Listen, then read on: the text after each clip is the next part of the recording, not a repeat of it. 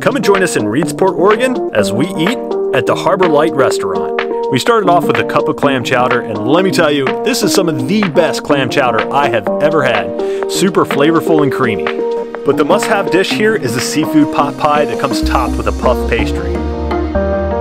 This thing is jam packed with flavor and seafood. Be sure to like and follow for more food, travel, and adventure. And until next time, stay wonderful.